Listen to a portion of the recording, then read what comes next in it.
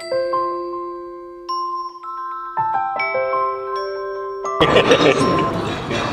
have the distinct pleasure of introducing Rabbi Mark I want to give you a very quick personal background read the bio. How many of you either been to a service or heard of a service where a left-wing rabbi shared his views from the pulpit? How do you feel about that? Okay. Yeah, it's not good, okay? So, we, many of us have stories like that. And um, personally, I, I think that you should only know that the rabbi loves Israel, loves America, and kind of wonder where he is politically. I think that's probably the best way. Because whenever there's preaching from the pulpit, is it ever from conservatives? It's always from the left, isn't it? So this is the second year in a row that we've gone to, uh, to Rabbi's uh, temple near for I always. And You know, you could come on Shabbats too. yeah, we can come in Shabbats too. We're kind of pretty Asian for Shabbat. We go to a lot of different temples. But nonetheless, I have been. It's very nice. Your Monday night classes. Okay. As I shrink. Uh, so I will tell you that uh, I didn't know where he stood politically. I had no idea, which is really, I believe, on Yom Kippur this year, he gave the most unbelievable speech, which you heard some of today, about anti-Semitism. He had the courage to say, I don't care where you are politically, you can't support those anti-Semites in Congress, he named them. I was so blown away. Yeah. And we, the Judaism definitely needs more rabbis like Rabbi Barker. Uh, so you're in for a treat. We're so, and also we've got courage. I know a lot of rabbis would say, I can't speak in front of you, but just don't sit down. It's like, okay, I understand. So this also takes courage. Let me give you a brief uh, intro. Rabbi Michael, Michael Barclay is an author, college professor, and recipient of the 2010 Distinguished Humanitarian Award from the B'nai Zion Foundation. He is the author of Sacred Relationships, Biblical Wisdom for Deepening Our Lives Together. A book with the rare blessing of having been endorsed by academics and spiritual leaders around the world, including the Vatican, the Vatican, Oprah's Guru, and the Chancellor of Oxford. Rabbi Barclay writes for multiple periodicals, including the Jewish Journal and PJ Media, and is a frequent contributor and Torah commentator for the Jewish Journal of LA. Rabbi Barclay both taught in the School of Theological Studies at Loyola Marymount University, and was also the Hillel director, where his one program became the national model for small college campuses. Rabbi Barclay is the spiritual leader of Ner Simcha here in Westlake Village. Most importantly, he is married and father of twin boys who constantly remind him to live fully, ethically, and with joy, to always act right and righteously. Please give a nice warm welcome to Rabbi Barclay.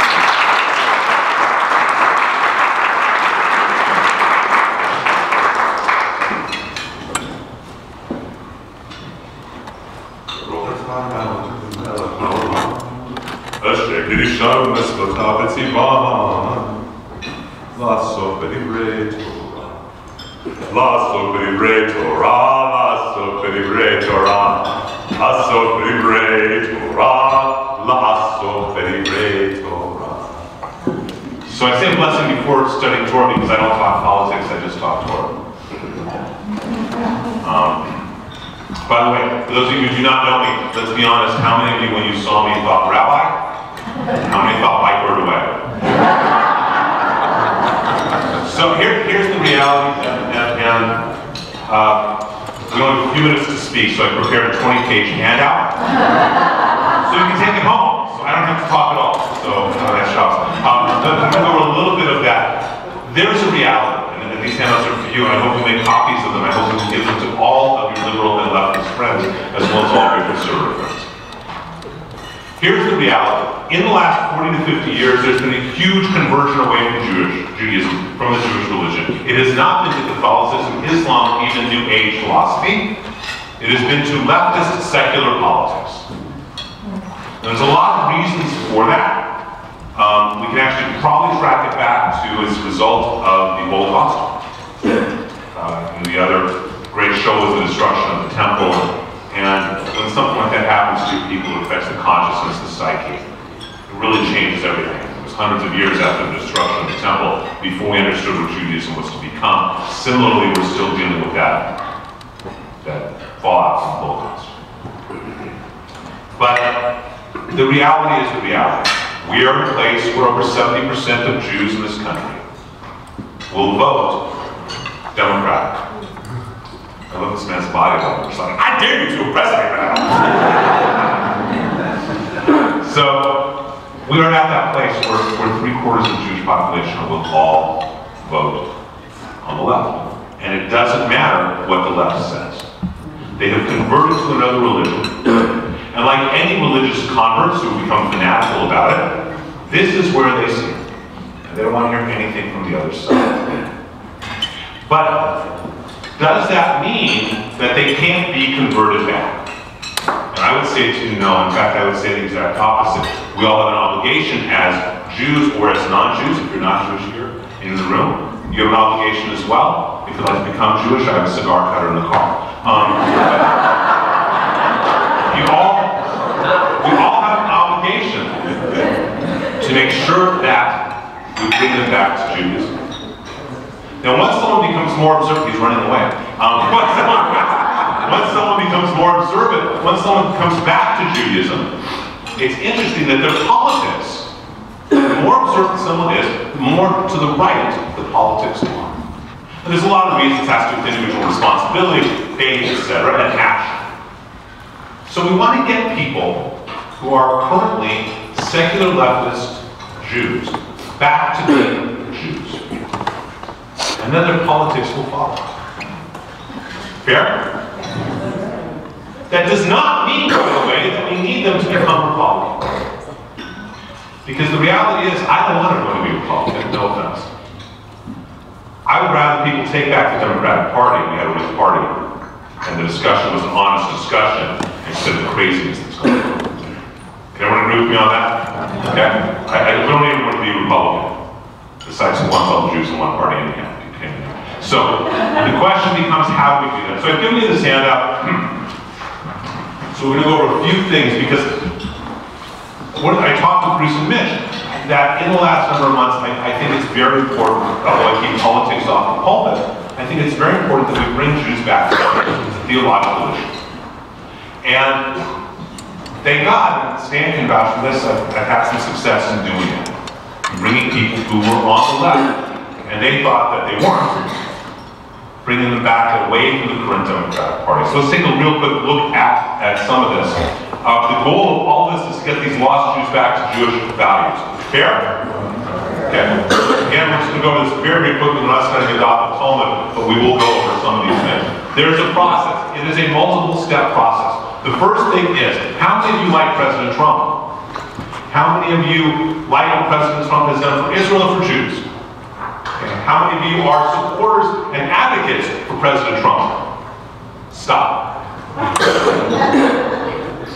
The moment you bring up Donald Trump in a dialogue with a leftist secular Jew, you have lost. Okay? You have lost. Mitch referred to high holidays. I did a lot of wrestling this year. I felt it was extremely important to call out Tlaib and Omar at high holidays. If you don't do it there, where are you going to do it? Okay? On the other hand, I pulpit. So how do I go about doing that? A number of people came up both on the left and right after the sermon, and they were very, very happy with it. Okay? And I don't write things down. Uh, I mean, I write the writings, but I don't write sermons or anything down. So it's always kind of a throw the dice anyhow. But it really did work because it was about theology. So first of all, take Trump off the table. If you're talking to a leftist Jew, take Trump off the table. Don't talk about how good he's been for Israel. Don't talk about the name of train station after him. Don't talk about his Orthodox kids or grandkids. Take it off the table. So they can't bring it on the table. That's the first piece of the process. Okay? Let's be clear. We have a goal here. Our goal is to take that leftist secular Jew, bring it back to the fold. Is that fair? So we got to do it in a smart way. Take him off the table. Don't bring him up. When they bring him up, say I'm not talking about Trump. We're not talking about Donald Trump. We're talking about being Jewish. Take it out of the realm of politics and into the realm of religion. Because at the end of the day, every one of those leftist Jews has a Jewish neshama. They have a Jewish soul that desperately wants to be connected with his tribe and doesn't know how. So the first thing is take Trump off the table. If you keep him on, you lose. The second thing, okay, you need to help them get to a point where they recognize the following question and they come to the right answer. Each of you who are Jewish, please don't ask me to think in your head. Do you view yourself as a Jew living in America or an American who happens to be Jewish? Now, whatever you view yourself as, you need to understand and recognize that the majority of the rest of America and the world views you as a Jew living in America, as an outsider. If we can get that secular Jew that leftist Jew who's saying, I'm an American first. Well, that's fabulous. The German Jews thought they were German first, too. The Spanish Jews in 1492 thought they were Spanish first. Doesn't work out so well, does it? We're going to talk a little bit about that, why we're the outsider, why they view us as an outsider. But the part of the goal is to get them to realize that they are viewed as a Jew living in America. Help them change their identity. You are setting off time bombs inside of their consciousness. They may not explode right then and there. You don't need them to. Let it go over time. All right, so take Trump off the table. And remember that one of the goals is to get them to understand that the rest of the nation views them as the outsider. Okay? Everyone with me so far? These step three. Do not attack the Democratic Party. You lose. Okay? Don't take on the fight. You lose. There is nothing wrong with the Democratic Party. It's the people in it that are messing. so don't take on the Democratic Party. For most of us here, most of us as Jews in America, our parents and our grandparents were probably Jewish, or were probably weren't they? I, this is not a meeting, which is good because I drink, but I have a confession to make. I worked on Jerry Brown's presidential campaign in 1990. Okay? It's the great statement, right? If you're, if you're young and not liberal, you have no heart. If you're older and not conservative, you have no brain. So, we, but I grew up, like most of us, our parents were Jewish and Democrat. And they, they were hand in hand, fist in glove. Don't attack the party. When you do, you're attacking their parents. You're attacking their grandparents. You will lose. Our goal is not to play. Our goal is to, to get every Jew back to being Jewish. It does not mean that he's going to be he or she's going to be Republican, but to get them back to being Jewish. Okay? So please, don't attack. You must educate them about anti-Semitism, and we're going to go over a little bit of that in a moment. If they can realize that this anti-Semitism that is, they're feeling right now is not a product of Trump, but rather a byproduct of 2,000 years, then it changes. And this is a really, really important piece to understand. For 2,000 years, there was overt anti-Semitism. In 1945, after the Holocaust was revealed, it wasn't hip to call yourself an anti-Semite. You couldn't say those damn Jews anymore. and so Greece rested after World War II, there was no anti-Semitism overtly. But you're not going to cure 2,000 years of anti-Semitism in a generation or two, are you? And so this anti-Semitism was just subverted, subjugated. And it reappears in the 1970s and 80s as anti-Israel. It's okay to be anti-Israel. You know, those Jews, they were killed in the Holocaust, so I don't want to say bad things about Jews, but Israel, we can say bad things. Mm. And so anti-Semitism becomes anti-Israel. Israel is an apartheid nation and all that kind of stuff. Okay? BDS movement, all of that. Let's be clear, anti-Israel is anti-Semitism in a different manifestation. The moment the UN says Zionism is racism, they're just expressing what they've been feeling a long time, which is how can we hate the Jews? You must get the, the liberal secular Jew to understand that anti-Semitism is too deeply ingrained, and that they grew up, if they grew up between 1945 and the mid-1980s, they grew up in a unique period of history where there was not overt anti-Semitism. So, I don't know about you, but I didn't experience overt anti-Semitism. I experienced a little in college. I grew up in Sherman Oaks. Must have been the Shtetl where I went to school, right? And so, if we think about it, that's what's so important. People think, American Jews think, oh, there's no anti-Semitism because they grew up in the 50s, the 60s, the 70s. They aren't realizing that what we're starting to experience now is what our ancestors have experienced for 2,000 years. We need to educate them. This may be the single biggest trick you have in your bag to take and convert them back to Judaism. Because there have been numerous people, Stan's seen, seen it with a number of cases, once they're educated about the history of anti-Semitism, they realize that this is ingrained, so deeply ingrained. They all of a sudden say, wow, maybe I really do need to realize I'm a Jew first. So we're going to go over a little bit of that education depending on, on how much time. Okay? When your liberal secular Jew decides to attack Republicans or the Trump or whatever, don't defend them. I'm not talking politics, I'm talking religion. I'm not talking politics, I'm talking theology. I'm not talking about the Democratic Party, the Republican Party. I'm talking about being a Jew. Change the dialogue, change the argument. Keep it focused so that it's religious and theological, not political at all. The moment you allow it to be political, you lose.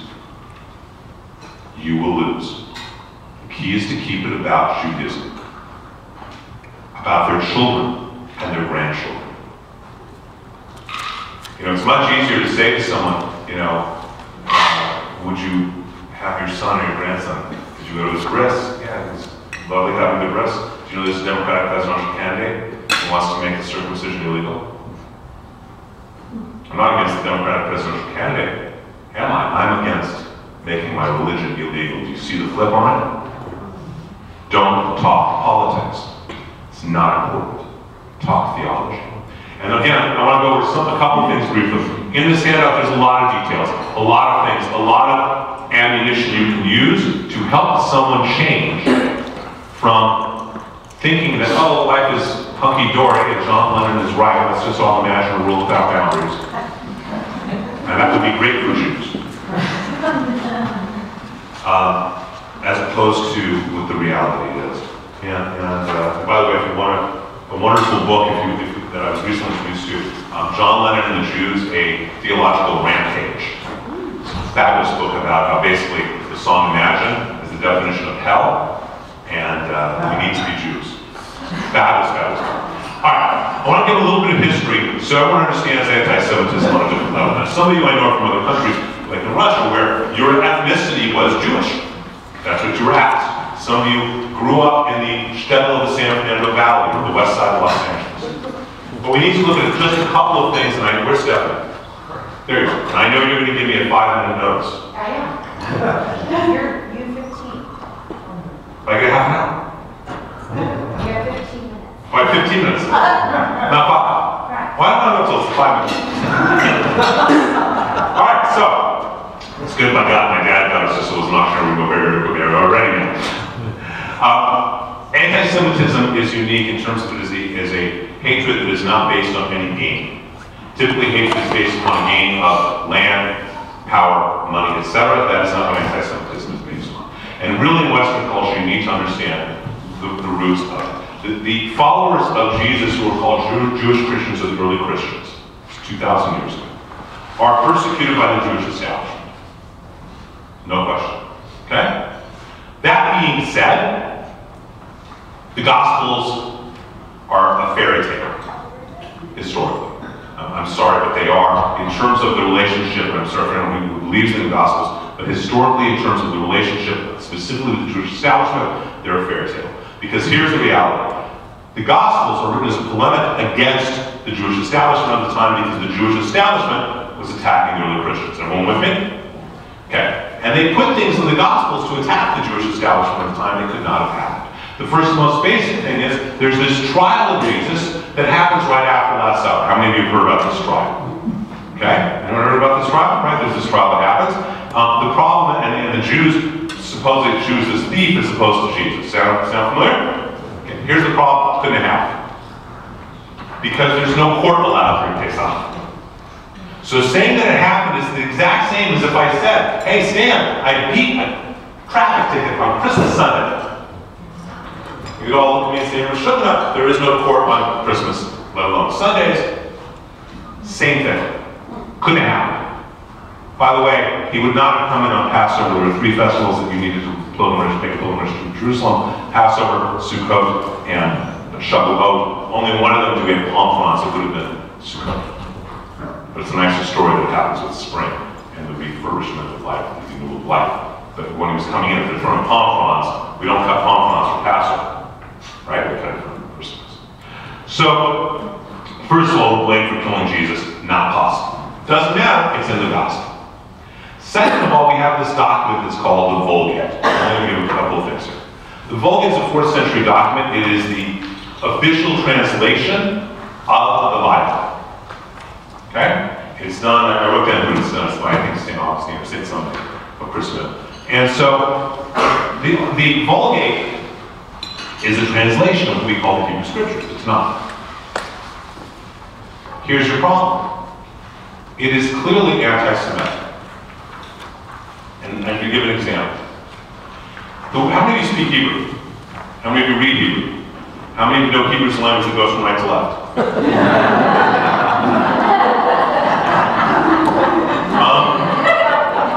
so here's the reality. There is a word in Hebrew, Quran. Quran means that uh, light shone from you. There's a word in Hebrew called Karen, which means horn. Yeah. Okay?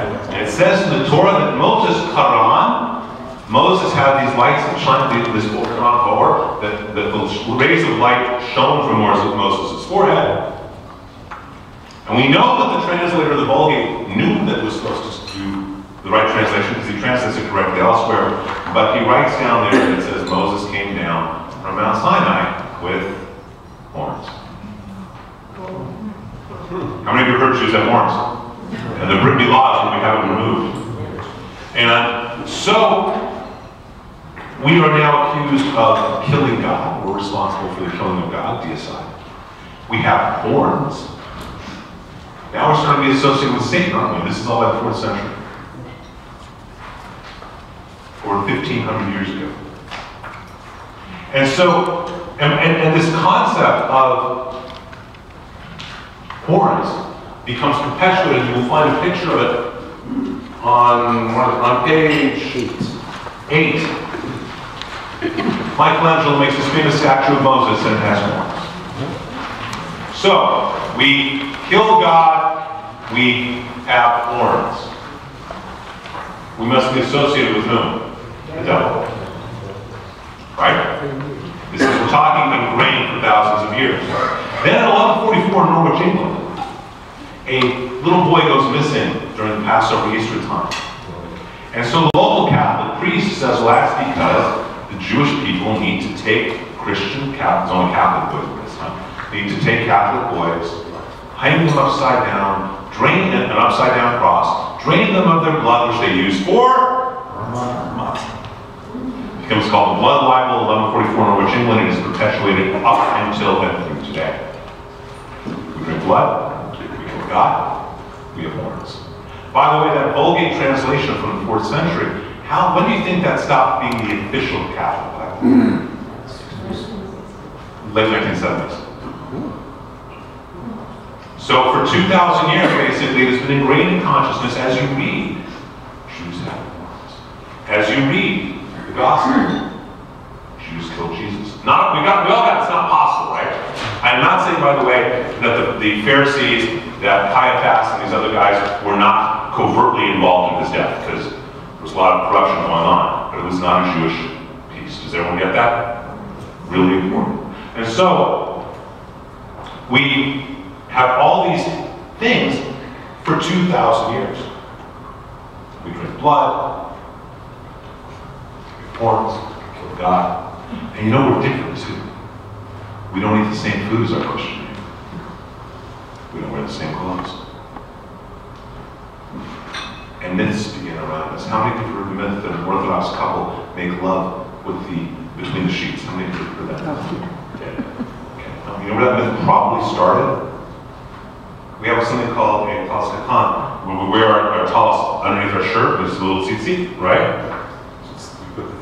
Well, when, before we had washers and dryers, you'd wash your clothes, you'd hang them on the clothesline, right?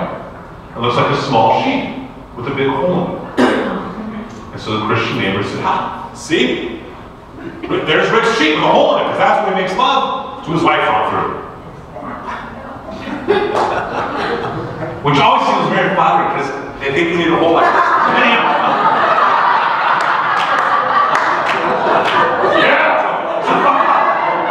Right? So, this is what, so all these myths develop all around us. We are different people. We eat differently, we dress differently, we celebrate our days, our holidays on different days.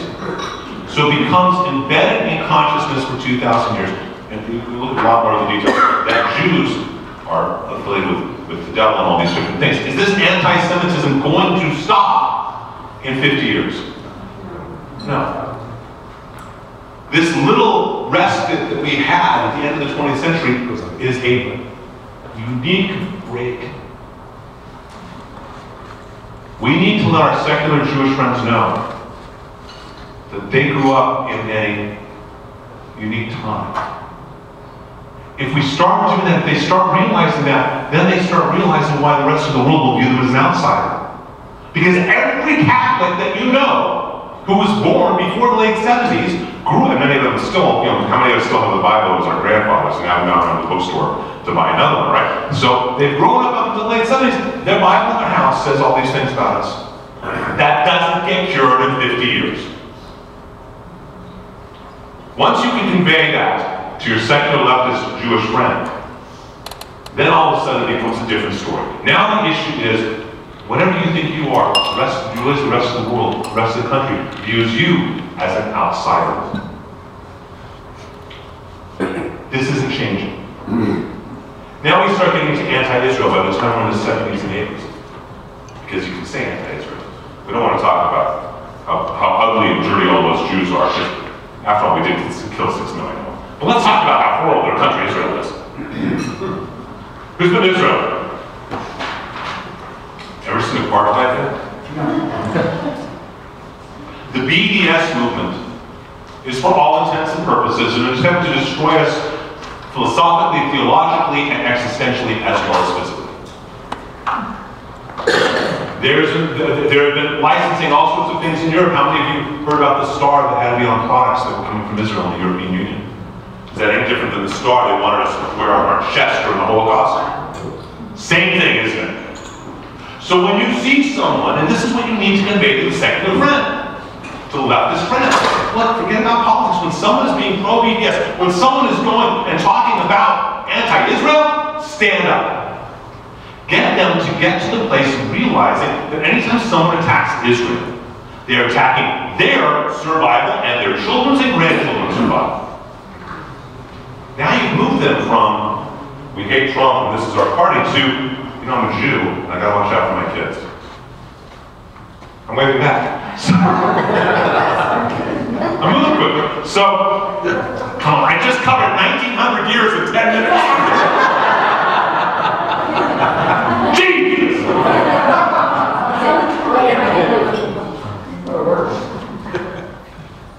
Walking on water. Okay, so. I'm gonna make these five minutes into 15 or 15 or 5. So, I'll don't worry, I'll be done time. So, here, if you look on some of the handouts, you will see a number of things that have gone on. That demonstrations in modern times. You'll find them on uh, pages 11 or something. You will find a number of different things that have happened, nationally and internationally. Use them as saying to your non, to not to your secular leftist friend, look, we haven't started any war. Every single conflict in the Middle East, Israel has been the defender. That is the reality, the historical reality. Point out how dangerous BDS is. Point out that in BLM, Black Lives Matter. I'm sorry, don't all lives matter? Yeah. But point out that in Black Lives Matter, part of the manifesto is to destroy Israel. I'm not doing that. That is in their manifesto. That is in their underlying theology of who they are. That there should be no Israel. Point out that this, you know, Palestinian state, there is no historical Palestine. They were not led to the Philistines. There is no historical Palestine. Jordan, Jordanians who were thrown out of Jordan. Point out that uh, people like Tlaib and Omar, who they really are, what they really want. They want us dead. Philosophically and physically. Don't attack the Democratic Party. Don't defend Trump. Convert back to Judaism. You know, it's interesting. Rabbis, as far as I know, the only orthodoxy ever practiced by rabbis isn't Orthodox rabbis demanding that their congregants become observant. It's Reform rabbis demanding that their congregants are politically liberal. So you know what? Take on your rabbi. Quit being wimps. And I mean this. If you don't like your temple and you think this rabbi's a jerk, which many of them are because they're using this as a political bully pulpit from their religious service. We were talking earlier. I, I don't let Marco Rubio come speak at our temple during service because it's not the place. If you see a rabbi do that, call him out. See, here's what's happening. There's a whole lot of Jews. 85% of Jews do not go to temple two days a year. I'm willing to bet that a lot of them are politically conservative. But they don't want to go to Chabad because they aren't theologically no, orthodox. They're theologically liberal but politically conservative. They go to a theologically liberal synagogue where they are preached about Saint Obama. right? So when you see that, don't just walk away. Let the board know, let the rabbi know, you are losing me as a participant, you are losing my money for dues or tickets or whatever else, and you are losing my accolades because of you preaching politics. You have never heard me, those of you know me, I don't preach politics from the temple. Yes, one on one. I don't preach politics from the temple, right, or from the vault, right? Take them on. You have here, and I have a couple of other articles I've written from PJV and other resources. You had a concept, and I'm going to keep it at time. You have here a study sheet. You have here the ammunition to take every secular Jew you know, and if and they're leftists, and take them out of leftism. And here's what I would say to you. You also have an obligation to do that. Not because of politics, but for the Jewish people. For our children and for our children's children. Thank you for being kind to me when you come here today. And don't-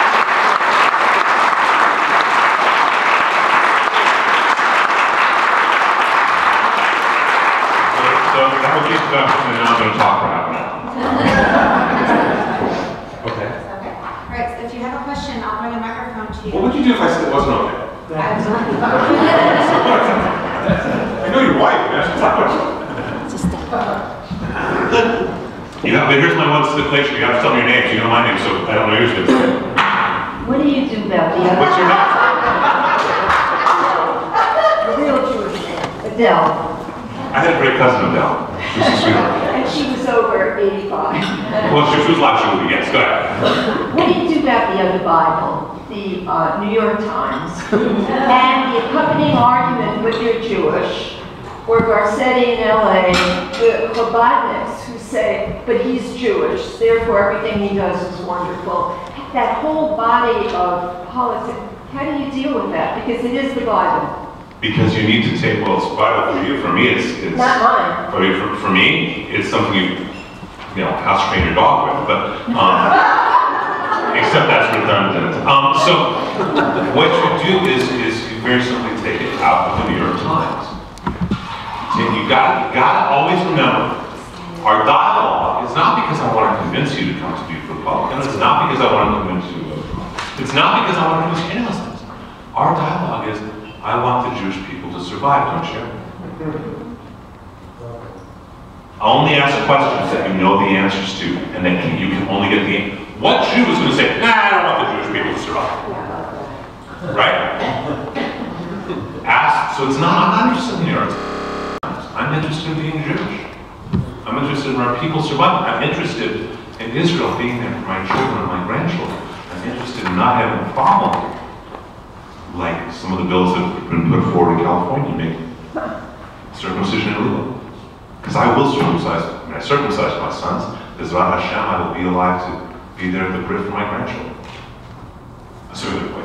Um, and, right, so, so take it out of, the key in this is to stop making it a political dialogue and instead make it a Jewish machloket. How many of you know what the term machloket means? In Talmud, the rabbis are constantly arguing with each other, and it's called a machlokas, machloket, a debate.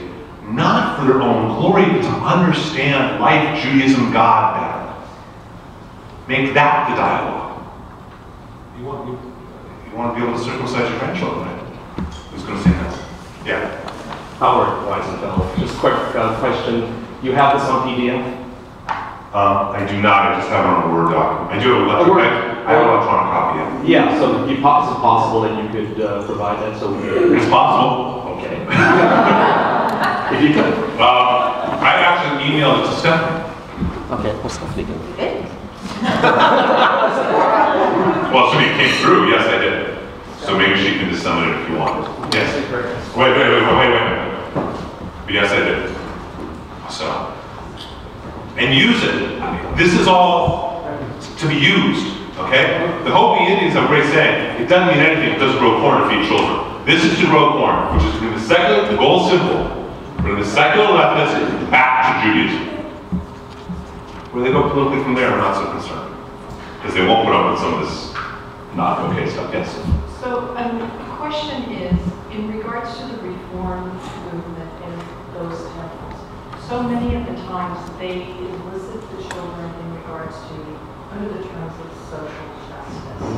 How do we actually, it's not justice, and it's not Talmud, it's not. So, so, let, let me, let me ask, let me, if I may re, re- reframe that. Right. Um, and, and and some of you have me say this, the problem with Judaism in the 20th and 21st century in America is rabbis. Okay? Um, too many rabbis have forgotten that they're supposed to be spiritual leaders and intend, and instead believe they are the chief operating officers of corporation, the corporation happens to be synagogue, and they're getting paid a lot of money. Okay? Uh, and that's a problem. And too many people become rabbis because they want to be an actor, or a politician, or they become candidates because they want to be a singer, and they're not employable in any of those fields. So there's a rabbi, as an example, I'm thinking of, I'm saying names obviously, um, who, who, this guy was fired from one job after another, became a rabbi, and suddenly was making 400,000 tax-free a year. So he's got his own agendas. I think it's a problem with rabbi. It's one of the, it's one of the problems that, it's one of the reasons synagogues are so expensive. Because the, the top line, the, the bottom line is so expensive. And that prohibits Jews from coming and praying and adopting. That's why we started, started our synagogue. We're the first ones in the nation, non-Orthodox, with no dues, no cost. They were good from the hearts. And it's a pain in the butt, and it's extremely hard. And thank God I do lots of weddings and funerals. Okay? But the point is, the first thing is to understand that. The second thing then is to understand that this phrase tikkun olam, reparation of the world, is misused. Okay? We each have a piece of repairing the world. This is how tikkun olam is supposed to be. Every one of us has a piece of repairing the world only because I can't do yours, you can't do mine. It's like we each have an instrument to play in, in an orchestra. And you play flute, you play saxophone, you play violin, I play guitar. I don't play guitar. So I play oud. And we need to find our note and play it in tune. And we all find our right instrument, we play our one note in tune. This is the sound of heaven on earth. That's tikkun olam.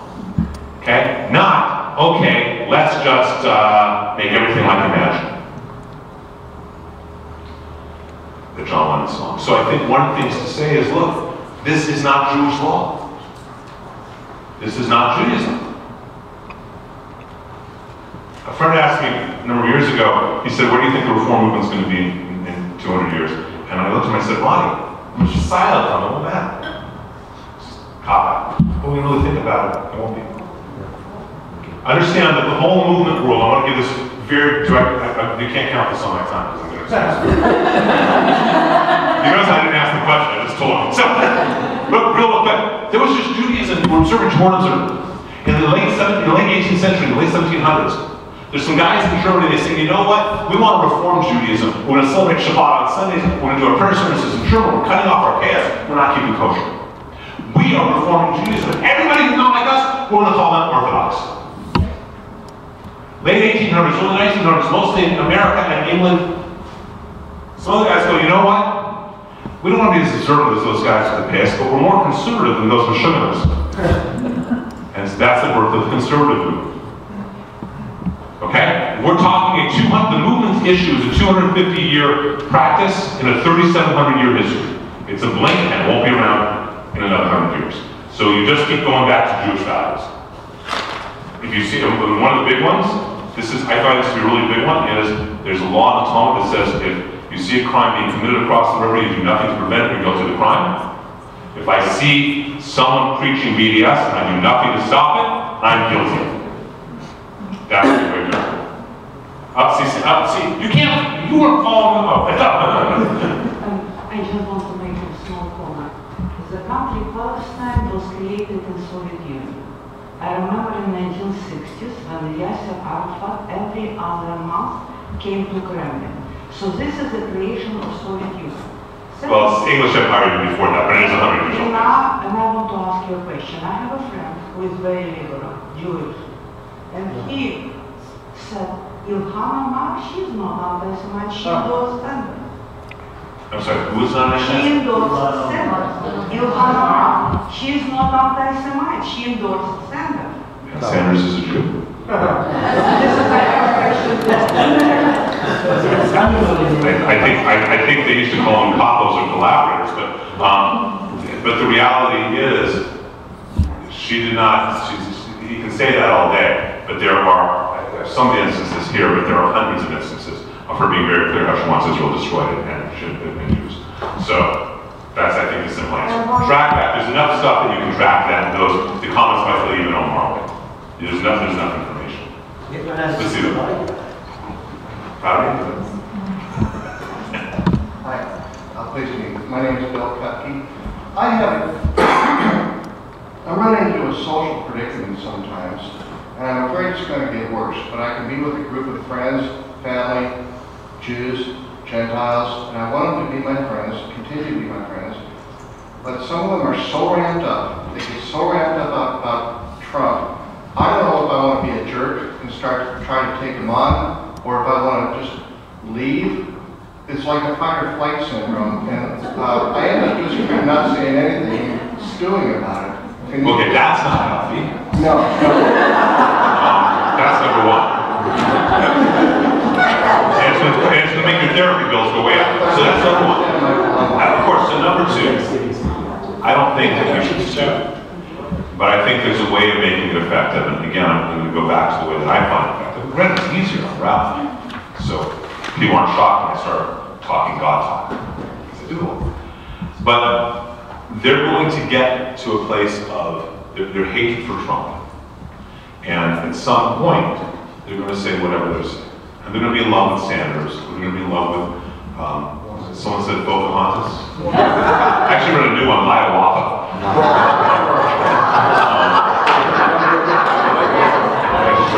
And by the way, just so you know, Few whites allowed in, the world allowed to lead ceremony by the American Indian Movement. I have seven godsons on the Yaqui Indian Reservation. I was I was Grandpa Wallace Black Elk's bodyguard 30 years ago, and and uh, you know I, I still go to the reservation half dozen times. Well, I used to half dozen, so you know the boys would just go for a week every year, but for the ceremonies. So when I make that comment, it's because I find it offensive. Well, this time's for politics, I'm sure. So when they start talking about whomever, then bring up the question of, yeah, but you know what, how do they feel about the Jews? Don't, don't go pro-Trump. As soon as you bring up Trump, you lose. So they're going to talk about uh, big bad orange man. Okay? And then someone's going to say, well, who are you for? And they're going to say, I am for Kamala Harris, I'm for Buttigieg, I'm for Harris Sanders. And then say to them, that's, that's the opening. Okay, but how do they feel about the Jews in Israel? Because across the board, every single one of them is messed up. God forbid any the Democrats that are currently running become president just for our sake, for the sake of Israel. That's the place to get in. And when they say, well, wait a minute, I like them with everything else. So I have a very easy out. Okay? What I personally do is I will say to people, uh, look, you know, I've become the guy I swore I'd never be. I've become a one-issue guy. For the sake of my children and my, my grandchildren. I've become a one-issue guy. How do they feel about Jews in Israel? It's something I really care about because that's what's going to affect me the most. Not the economy, not other things, but how do they feel about Jews in Israel? How does Warren, Sanders, pick the Democratic candidate, one after the other, is the problem. And then you switch it into theology. That's what I would recommend. I would never recommend just student though. If you want to get up and knock the table over and say, I'm leaving because you're all a bunch of jerks, I would feel that's better than just student. Because that's everybody. Yes. I have, I have, my name. I have two questions. My first question is, how did you become a one-issue guy? Because I think that there was a transition for you. I'd love to hear your story. Oh, I became a one-issue guy the, the, the moment my children were born. So it was with the birth of your children. That's, that's right, that's, that, that's where for, uh, for me, because I realized that for the foreseeable future, they're identified as the children around. So quite honestly, I became one, which I always should have been. It just, I needed that, and, and by the way, I needed birth of two of them at the same time to get it across. Right. Um, and so I work with the Jewish community engagement, and um, it's not that easy, and I'll explain why. And the you know division between particularism and universalism. They do not want to see themselves as Jews first. It's tribal. Right. It's insular. If I say to them, "Hey, if I'm a one-issue kind of gal," which is exactly what I say when we have these conversations, they think of me as myopic. They think of me as uh, tribal, and it does not, So I'm gonna me, give you, does not further the I'm gonna give conversation, but it, it- at I'm least gonna it's give you two suggestions. I'm gonna give you tools, two sets of tools, okay? Two sets of tools, that's a good one. Number one, talks about anti-Semitism, because I will guarantee that none of them realize the depths of the, of the history of anti-Semitism, because they grew up between 1945 and 19, 19, okay, number one. So they see that, that they grew up in a very specific time. Number two, I would recommend very highly to you personally that book, John Lennon the. John Lennon and the Jews. And it's, has anyone read this besides me? Okay. It is a fabulous book because, you know, we think of Imagine being this great, this great song, this great, you know, imagine there's no that, right? Um, and the reality is the definition of hell. And there's a beautiful story in it that I would recommend to you. It's a Persian Jewish story as well. And the Persian Jewish story is that uh, there is a, a one of the Shahs centuries ago, and he's going to say all the Jews have to be removed from our kingdom at a certain time on this particular day. And the rabbi says, I don't know what I'm going to do. And his wife, as a good Rebbetzin says, says, don't worry, I'll take care of it. And she says, do what I tell you. And so the day comes, a month later, it's the day before he's supposed to leave, and she gives him two rugs to the rabbi, and she tells him what to do, and he goes to the Sultan, to the Shah. And he says, you know, Sultan, I, I'd like to speak to the Sultan, says, you're not going to change my mind, but what do you want to say? Says, I have two gifts for you. He rolls out these two beautiful Persian rugs, and one is a gorgeous dark burgundy solid color, and one is this amazing pattern. Sultan says, very beautiful. And the man, the man says, the rabbi says, that's great, one of them is for you, you get to pick which one. The Sultan says, I should kill you right now for the arrogance. Why would I pick the boring red one when there's all the beauty here? The rabbi says, exactly my point. Why you want to make your country, why your country just one color as opposed to beautiful tapestry? I recommend the book highly to you, it may give you some tools, as well as really knowing the answers. Yes, other questions are all done. Uh, I can go all day. Can you please share with our members a little bit about Temple Ner Simcha? Sure. Um, I was a professor at Loyola Marymount University and a rabbi in Beverly Hills, and we're all affected by our uh, the stories we grow up with, right? And I grew up with the following story. My father, God rest his soul, was a flying tiger, and he came back from World War II in uniform to a shul in Chicago. They would not let him in on Nidre because he did not have a ticket. We all know stories like that. And so he did not go to temple again until my older brother got rest his soul as bar mitzvah. Because he said, God who saved my butt over there is in this. And so he had a deep faith. He was not particularly practicing I grew up. And I always would said the bracha before bread. It's very funny. He would say, now I know he was covering his head At the time, I just thought you had to say that, do that. So- no, I really, I really did. I thought that this is what they do. Um, so, so we, we, we uh, that I've always had this problem with the to pray. Uh, how many remember Rabbi Shalom Schwartz of Blessed Schwartzy? Schwartzy was a dear friend and a teacher from the time I was a teenager.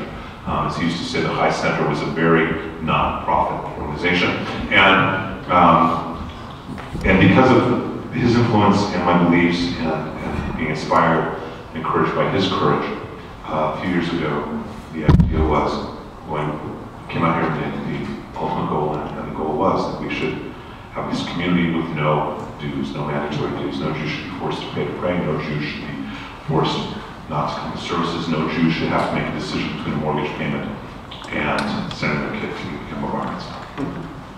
And when we did it through a lot of articles, um, back this was never going to work. Never mind. the bottom line is, thank God it is. It's hard. I mean, we don't even have a budget for the whole year at this point. We will. Somehow it all works out. And, and, and one of the things as rabbis, I think, we've got to have skin in the game. we've got to have faith. And uh, we have an amazing team. Those of you who know us, our weekly stream teams. I have Kent Royal Souls named Benny Lipson, who's a major jazz musician. We have a musical director Mac Berman, who's played with a bunch of little people like Donna Summer, Justin Bieber, and the Tonight Show Band, and things like that. Um, High Holidays, we have Sam Glaser as our cantor. He is uh, considered by Moment Magazine one of the 10 most important Jewish musicians in the country. We've joined this year uh, percussion by M.B. Gordy. M.B. just won a Grammy this year, as well as he just had a gig like a week and a half ago. It's a little bit, uh, yeah, the Who at the Hollywood Bowl. He was the percussionist. Um, so, so that's kind of what we what we do, and it's people give from their hearts, and it's hard, and it's the way it should be. But isn't that no, Jew should be turned away by it, ever? And you know, those who can should give. Those who can't should give another. Other questions, are you throwing me out? I have been thrown out of worse places than this. Nobody wants to leave. Okay, Well, well, we're auction- okay, so we will now be holding um, an auction of, of uh, Bruce. Is it Temple fundraiser? They'll do, they'll do your windows. So thank you guys for being good. May we all make the choice, make the choice go and convert them back to Judaism. Think of it that way, not as making them Republican. But let's get every Jew back in the pew, back in the pulpit, back in the place of theology. Politics will almost guarantee fall. Thank you.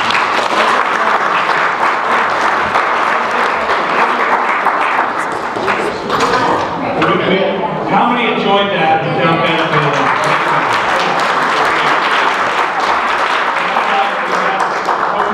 in it? Token of our esteem for you, you are now an honorary JRA member. We have a pin for you that you can wear in secret or wherever you want to wear it. Like, like, wait, am I the only rabbi who comes here? You are actually, I think, the first, yeah, have we had one? That was funny. First, I don't remember who the first speaker of the year was here? Pastor Rob McCoy. He was a friend. He's my brother from another mother. Yeah, he started the year with a pastor, ended with a rabbi. Sadly, one year ago, we did a uh, tribute at your, at his, at the Pittsburgh shooting together with the rabbi and the pastor. And I'll say, I'll say, anytime. You're welcome to come back anytime.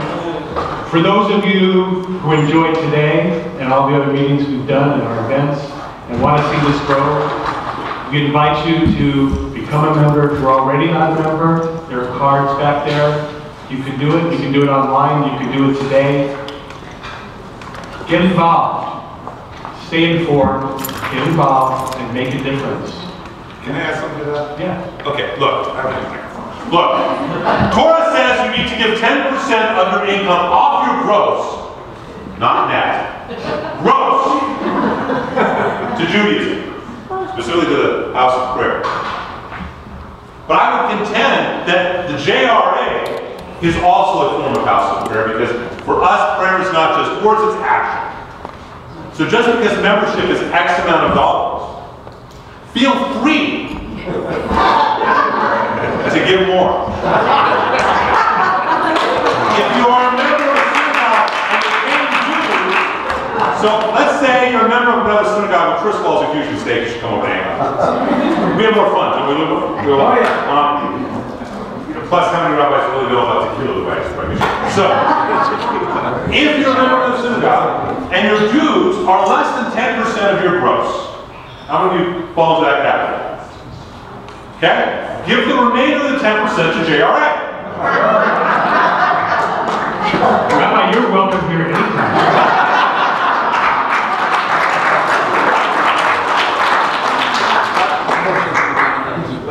But until we meet again, thank you all for being here. Shabbat shalom, everybody. Shabbat shalom. Thank you.